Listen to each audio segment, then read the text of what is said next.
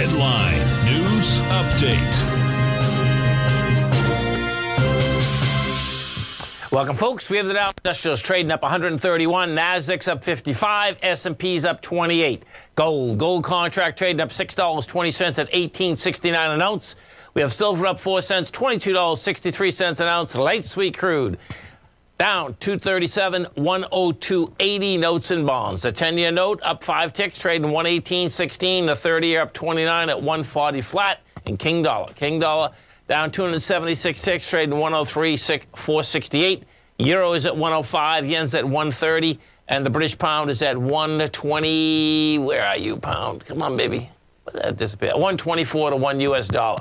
Well, you know, when take a look at the S&P, folks, the bottom line is every, the market's waiting for tomorrow, 2, 2 o'clock, the Fed. That being said, guess what, man? Yeah, you're up 260, you get 72 million shares traded. You go higher price, lower volume, contracting volume. That's basically building cause for lower price for the next leg down the marketplace.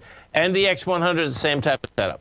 Uh, you got with the NDX up here, you're up with 62 million shares. Going into 91, you hit a low out here yesterday with 115. Gold. Gold contract. This is going to be interesting with gold to see whether gold can basically get a sign of strength because what we have with gold, gold's an ABC structure down. Uh, bottom line, rejected lower price today.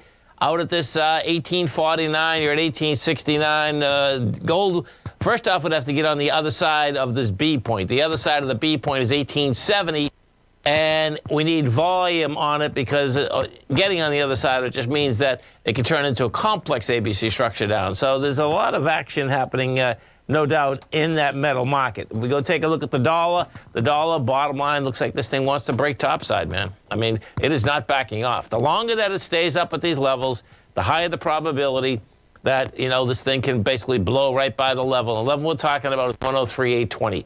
We get through, through 18, 10 free 820, we are talking a 121 level. So you are talking some heavy action out here, if in fact uh, that's where this baby wants to go.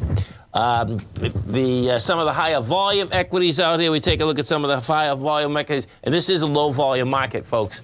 Is that you get Advanced Micro up 145, uh, Ford is up 37 cents. You got uh, Meta Platforms up 233.